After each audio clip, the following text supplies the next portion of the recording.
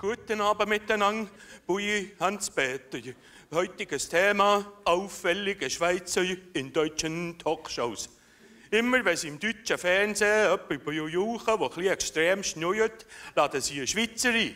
Oder die Schwaben sagen sich halt Schweizer Gäste. Ich weiss von Jujum.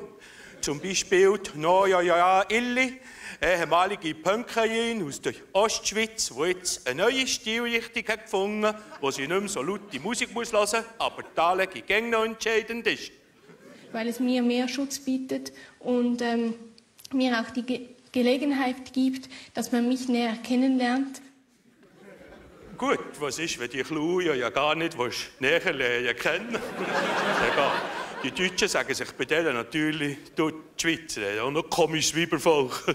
Oder Jojom laden sie noch einen anderen Schweizer ein, der noch nicht zum Islam konvertiert ist. Der Jojojojoje Köppel, der für die deutsche Kontinentalpolitik das schlägt.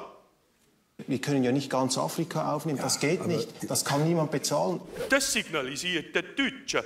Die Schweiz würde schon ganz Afrika aufnehmen, aber nur, wenn sie rentiert. Das natürlich keine Deutschen sagen. Die kommen da gegen mit Menschenschicksal und so Weichschnäbelzeug. Jetzt auffällige Schweizer gibt es nicht nur im deutschen Fernsehen, sondern auch innerhalb unserer Landesgrenzen. Äh, das weiß jeder, der ein paar WK hat gemacht. Die schwierigste für Jojant ist immer die Heimat für Jojant wegen dem Schweizer Greenpeace-Aktivist, der dort Jujussen verhaftet hat, hat von Jojo Nationaljahrtin Doris Fiala in Sendung Club erklärt, wie die Jujussen so ticken.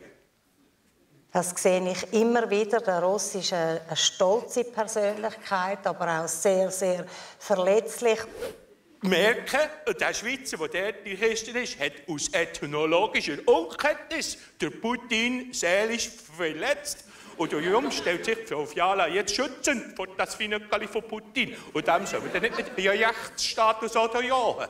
Die Demokratie-Kolonialisierung, die wir zum Teil da äh, möchten stattfinden lassen, die finde ich ehrlich gesagt ein bisschen daneben. Auch im Wikipedia, da steht ja jeder Sechste drin, habe ich die Demokratie-Kolonialisierung also nicht gefunden.